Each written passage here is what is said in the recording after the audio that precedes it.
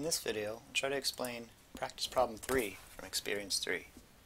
Which of the below is the best guess for the standard deviation of the distribution shown in the histogram below? So I've copied the histogram and posted in Paint here. And I wanted to show the intuitive explanation of standard deviation. You can think of standard deviation as the average distance from the mean, or the center. So this is a nice symmetric distribution, and it's pretty easy to pick off the center. It's right there at 150. And then you want to think of how far the numbers are from there. So we have them grouped in these classes, and we'll deal with those classes one at a time. Okay, so let's do the first one. Going from the center to the center of that first bar, that's a distance of 5 because the bar is 10 all the way across. Same thing over here. It's 5 over there too. So all the things in those two big bars, those are a distance of about 5 away from the average, right? About 145 and about 155. All right, look at the next set of bars out.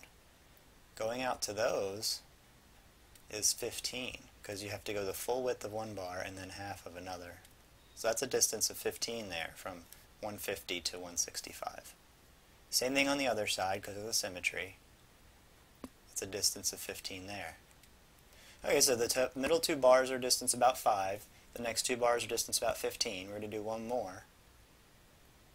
That goes out to these bars. These go out 25. You go two full bars and then a half. From 150 to 175 is 25.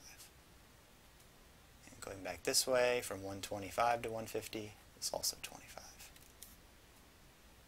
Alright, and then there's some little stuff in the tails, but we can more, more or less ignore that. And so, remember I said it's the average distance, right? So we've got stuff that's 5 away, stuff that's 15 away, and stuff that's 25 away.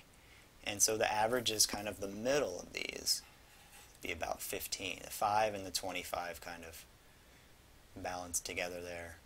Um, and you could think of adding up all these numbers and then dividing by uh, 6, and then you'll get 15.